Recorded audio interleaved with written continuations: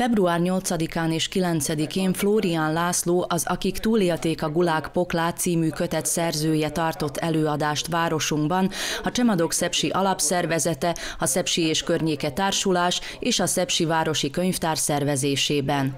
Az első könyv bemutatóra szerdán a könyvtárban került sor.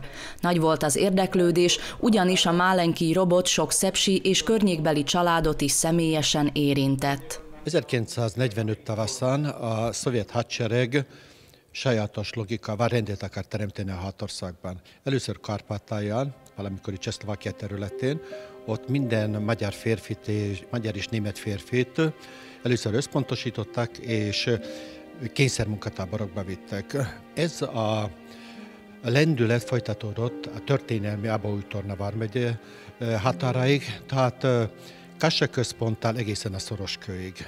Először 1945. február 4-én hirdették meg, hogy férfiaknak jelentkezni kell három napi élelmiszerrel, tehát nem az volt, hogy három napi munkára, három napi élelmiszerrel, hogy bemennek kassára, és a habborús karokat fogják eltávolítani. Ezeket a férfiakat összeszedték, és elsősorban Kassan az Universitás Szedriában, tehát a törvényalkotóházban, jelenleg a Hilton és a Thalia Színház közötti hatalmas épületben összpontosítottak. Három hét múlva, úgy látszik kevés volt az ember, megint meghirdették, hogy jelentkezzenek. A férfiak, mikor a jelentkezés nem igen volt, akkor a bíróknak kellett, minden falunak a községi bírájának kellett kijelölni embereket, akik mennek oda. Ezek a kijelölések, és én mindig hangsúlyozom, az ő szerepük sem volt teljesen egyértelműen negatív, mert nem tudták, hogy hova küldik az embereket egyetlen egy bíró volt, aki elutasította Szardelőnek a bírája volt, aki nem volt hajlandó senkit sem küldni, azt mondja, hogy ismer annyira az oroszokat, hogy nekik sosem lehet hinni. A többi községből küldtek, ezeket szintén elvitték Kassara, illetve azok, akik nem fértek be a Szedriára, azokat vitték tovább gyalogmenetben Eperjestre, és végül, amikor már úgynevezett, szerintem az előírt létszám megvolt, akkor a szovjet belügyi csapatoknak a speciális egységei, NKVD-nek a egységei kihajtottak őket a Duklai Hagon keresztül először Novi Sancsba, végül Szánokon eh, szarították fel őket, a, gondolom addig már képítették a szélesvágán, és onnét vitték el kényszermunkatáborokra. Itt összpontosítottak az össze Szlovákiát vagy Csehszlovákia területéről, illetve Magyarország területéről összegyűjtött embereket, és ugyanúgy a szepesség, a Sáros, tehát Eperjes környéke, a mi vidékünkön, sőt, még Magyarországról is vittek embereket. A cél az volt, hogy a magyarokat, németeket úgy vittek el Metzenzéfről, Ásó Metzenzéfről, Stószról, Szomolnokról, hogy akkor már a nőket is vitték, és voltak megbízhatatlan magyar, eh, szlovákok, ruszinok, akik szintén hozzácsaptak a transporthoz. Végül 1945. márciusában érkeztek meg a Lagírba, a legutolsó vasútállomásra, onnan is felhajtottak őket a Kaukázus hegyei közé, egy Nuzál nevezetű községbe, ahol később vagy üzemekben, vagy fájírtásokon, vagy pedig olombányákban dolgoztattak őket. A tragédia számunkra az, hogy az első időszakban eh, nem kaptak élelmiszert, senki nem törődött velük, betegségek eh, dúltak közöttük.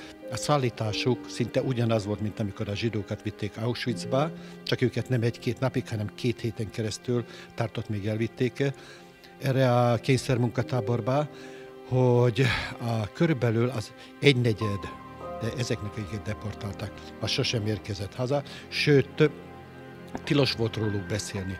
Éppen azért fontos, hogy a mai nap, mikor Florian László felidézte édesapjának és barátainak a történetét, hogyan voltak, ezek az emberek, akik a mi környékünkről, mi sorstársaink, mi elődeink, nagyapák, vagy pedig szülők, ugyanezt a sorst érték meg, és felidézve szerintem egy erkölcsi kötelességünk az, hogy tudatosítsuk minden egyes háborús konfliktusban, elsősorban a civil emberek az áldozatok. Szepsinek egy különlegesség az, hogy itt Leventéket a szovjet katonák feltartóztattak, és több napi verés után Rimaszombaton keresztül Losonszra jutottak, ahol elítélték őket, őket már nem kényszermunkatáborokba, hanem büntetőtáborokba vitték úgy, hogy még a kényszermunkatáborokból, akik voltak, azok 1949, 48-49 telén már haza tudtak jönni, akiket viszont elítéltek és büntetőtáborokba jutottak, ezek a Szepsi Leventéknek a sorsa volt,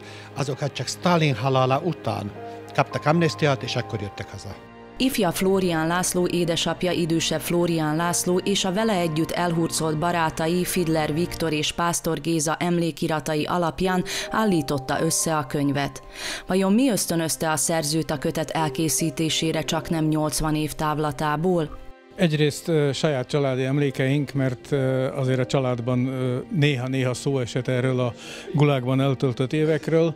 Másrészt két másik íromány, ami a kezembe került, egyrészt Pásztor Gézának az emlékiratai, amelyeket szlovák nyelven jelentettek meg, én fordítottam aztán magyarra, és aztán Fidler Viktor orvosnak a, a naplója, amely szintén a rokonok révén a kezembe került, és hát abból is idézek elég sokat. Ez nem egy dokumentum kötet, ez egy személyes élményeket bemutató személyes visszaemlékezéseket felélesztő kötet. Nem egy, nem egy vidám olvasmány, az biztos. Február 9-én a Boldog Salkaházi Sára Egyházi Iskola Központ diákjai vettek részt a második könyv bemutatón. A történelemből okulhatunk. Tehát ez az üzenetet tulajdonképpen ennek a könyvnek is, hogy ismerjük meg a múltat, ismerjük meg a történelmet, nem azért, mert vissza kell nézni, előre kell nézni a jövőbe, de okulni lehet a múltból. Az elhurcoltak és családjaik a szovjet munkatáborban átélt szörnyűségeket örökre az emlékezetükbe vésték. Arról, hogy az események nem erüljenek feledésbe, a jelen generációinak kell gondoskodnia.